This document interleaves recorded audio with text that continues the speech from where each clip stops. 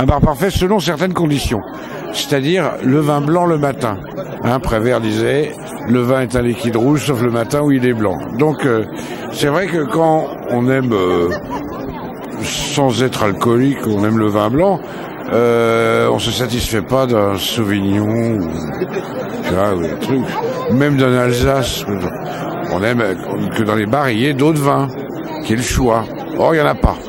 Donc c'est l'histoire un peu d'un type qui cherche quand même un rat dans Paris où il pourrait boire un, un Salon, un Quincy, euh, un Bon Alsace, mais qui est le choix.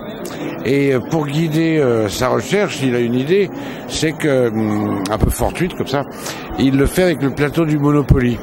Donc il commence par la rue de Belleville, après il passe rue Le Cours, ainsi de suite. Et il espère arriver rue de la Paix. Enfin, il n'y arrivera pas, hein, parce qu'il sera trop atteint avant. Mais euh, et donc il rencontre plein de gens euh, et il fait son choix. Et il le trouve, il le trouve pas vraiment. Ce qui se passe, c'est qu'il n'y a pas de bar parfait. Euh, il n'y a que des cuites parfaites. Et ça la leçon. Donc, donc en fait, on connaît la fin de l'histoire en commençant le livre ne connaît pas parce qu'on ne sait pas, euh, avant d'aller, s'il va, s'il va réussir à faire tout le, s'il va trouver le bar parfait et s'il va réussir à faire tout le plateau du Monopoly. Non, entre, et entre temps, il y a une histoire à côté, euh, un peu plus polar, qui va le, qui va le rejoindre, bon, qui va un peu l'empêcher de poursuivre sa quête, quoique. Est-ce que l'auteur doit payer de sa personne pour euh, pour aider son, son personnage à trouver ce bar parfait? Non, ce qui est idiot, c'est de payer sa personne pour un livre. Mais moi, ça fait un moment que je paye de ma personne sur ce sujet, donc il euh, n'y a aucun problème. Il n'y a pas eu de changement euh, ni qualitatif ni quantitatif. Et là, derrière, juste derrière, il y a un, vendeur de, vin de Belenheim, je sais pas comment ça s'appelle, Et je m'y suis arrêté là, j'ai pas pu résister. Et euh, très bon vin.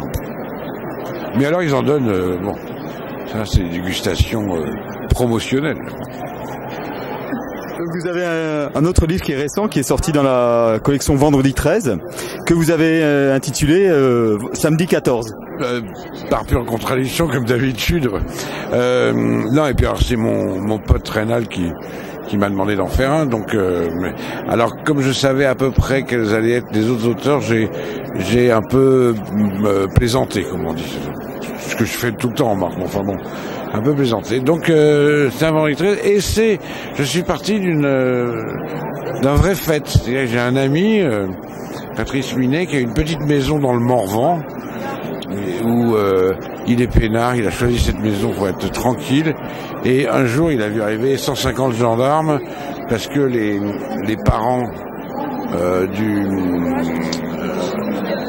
les parents du nouveau ministre de l'Industrie ou je sais pas quoi, ou le grand-père et grand-mère, habitaient juste à côté de chez lui. Alors pour éviter qu'il y ait des gens qui, fassent des raps, des trucs comme ça, bon, euh, il sécurisait tout le coin et ça a été un enfer pour lui, alors qu'il était dans le village le plus tranquille.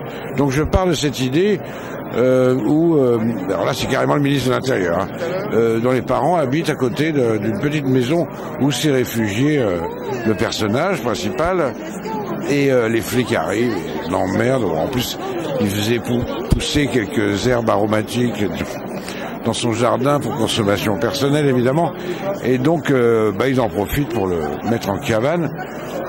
Mais on, on regarde la vue quoi. Mais bon il s'échappe parce qu'il y a un match de foot très important ce soir-là.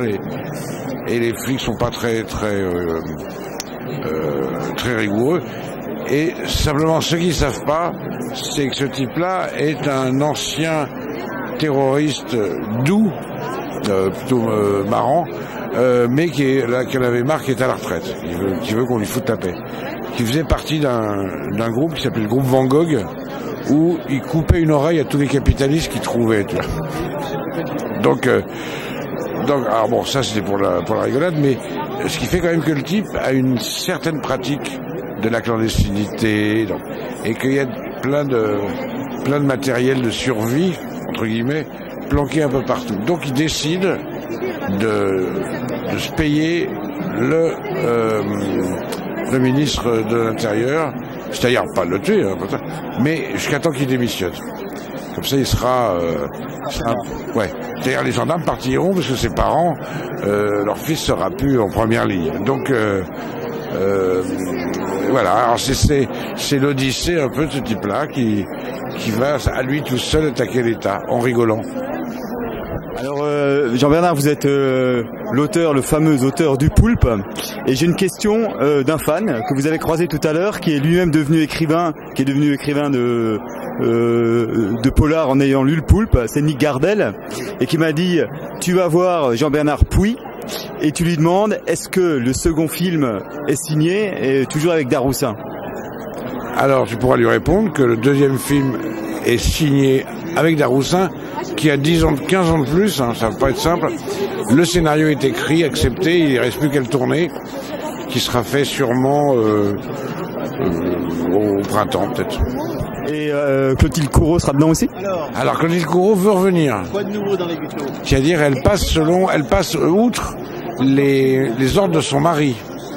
Mais alors on pourra plus la mettre à poil quoi, c'est ça le problème.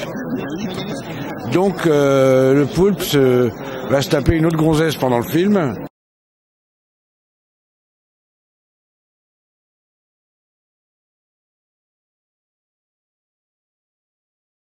Jusqu'à la fin où il va s'apercevoir que c'est un homme.